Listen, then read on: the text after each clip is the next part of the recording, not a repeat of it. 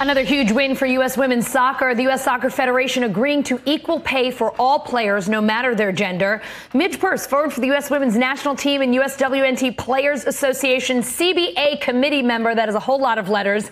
Here now. Uh, Midge, thanks for being with us on such a big day.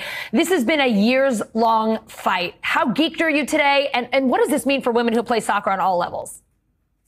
You know, I'm really excited. This has been a long time coming. This fight has started before I even was a professional soccer player. So yeah. to, to grow up watching it and now to see it, you know, everything come to fruition, everything they've been fighting for, it's it's a really rewarding feeling. And I, I'm really proud of everyone who's been a part of the movement. So, as I mentioned in the intro, you're a member of the collective bargaining committee for the Women's Players Association. That's what all those letters stand for. Uh, what else can you tell us about this deal? I can tell you that it's fair. I can tell okay. you that it's equal. Uh, beyond... I'm sorry, could you repeat that? Because we haven't heard that in a long time.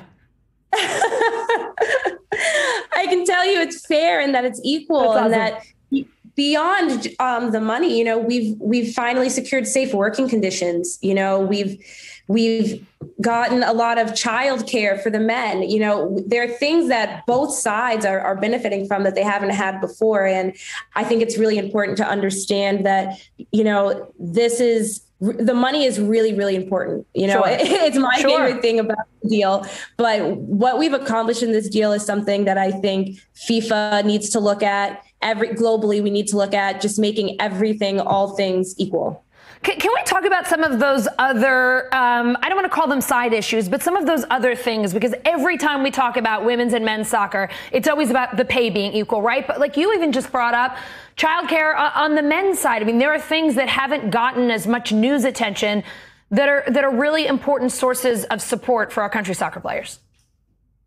Yeah, I mean, working conditions. You know, we talk about the turf field versus the grass field all yeah. the time. Now, know, but we talk about prize money, but we also talk about the participation money um, and how much that they delegate to the men's teams versus the, the women's teams. So there's a lot of things that go into being a professional athlete that go beyond just your compensation, and they need to be considered as well.